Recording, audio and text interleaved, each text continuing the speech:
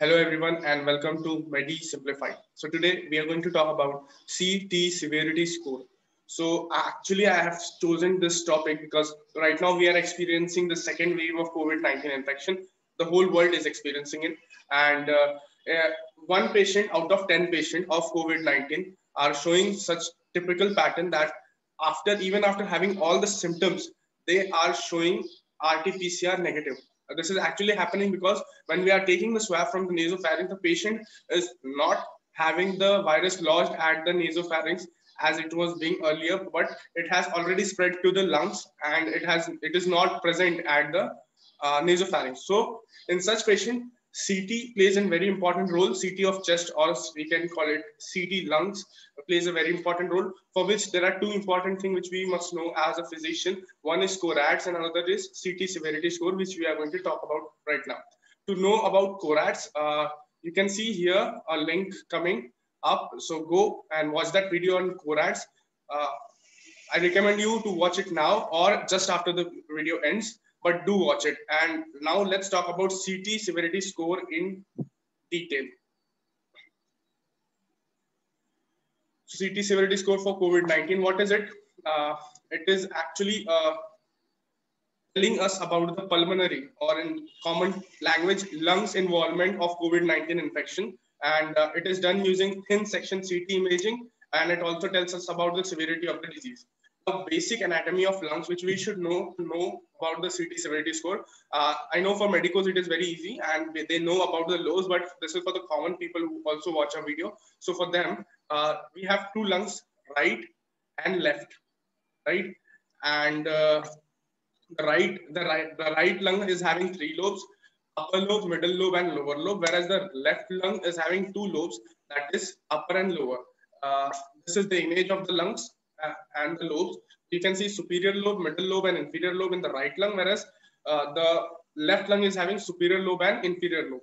And we can see a notch here, due to which there are one lobe less in the left lung, and this is known as cardiac notch, where the heart is situated in the patient. So this is the basic which you should know to talk about the severity score right? So we have three right lobes and two left lobes, in total five lobes in the human lung, right? So now talking about the CT severity score, the lung lobe is visualized.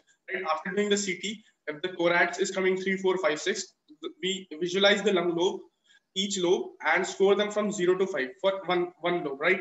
So we and on the scale of zero to five. So if there is no involvement in the lobe, we score it as a zero. If the lobe is involved five percent, less than five percent, we, we give it score one.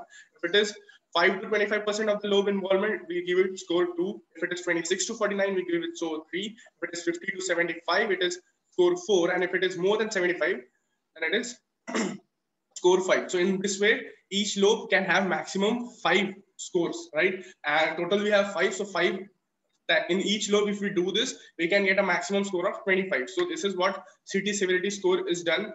This is the calculation part of the CT severity score. And for each lobe, we do zero to five. And similarly, all the five lobes are visualized and the sum is calculated as CT severity score. So if the total of all the five lobes comes from zero to eight, so it is a mild score. If it is 9 to 15, it is a moderate score or intermediate score. And if it is more than 15, it is a severe score.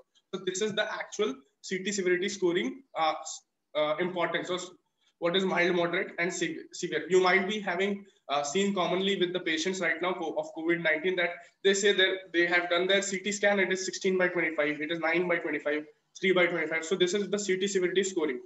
So now let's calculate a CT severity score. So as that we can perfect ourselves in case of a, in case if in the upcoming exams we get a question on it, right? So this is the uh, question right now. The right upper lobe is 22% involved. So it is right uh, from 5 to 25%. So it is 2.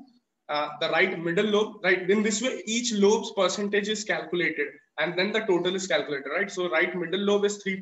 That is less than 5% of the lobe is involved. So it is 1. Then the right lower lobe, 81% uh, of involvement, that is more than 75%. So it is score 5. Left upper lobe is 33% involved. So the score is 3 that is between 25 to 49 and the left lower lobe is 64% involved that is from uh, 50 to 75 that is score 5 so if we total or sum of this score then it comes as 15 by 25 so it is a moderate case of COVID-19 infection or the pulmonary involvement. Once again, uh, this time we I have not mentioned the score, right? So this is the findings. Right upper lobe is 41% involved. So if the calculation goes, so it is uh, score three for right upper lobe. Right middle lobe is 27% involved. Again, it is between 25 to 50% uh, of involvement. So the score is three right lower lobe is 60% involved. That is more than 50%, but less than 75%. Uh, that is score four. And the left lower upper lobe is 10% involved. That is more than 5%, but less than 25%. So score two. And similarly, the left lower lobe is 77% involved. That is more than 75%. The score is five. So in this way, we have calculated the score of each lobes.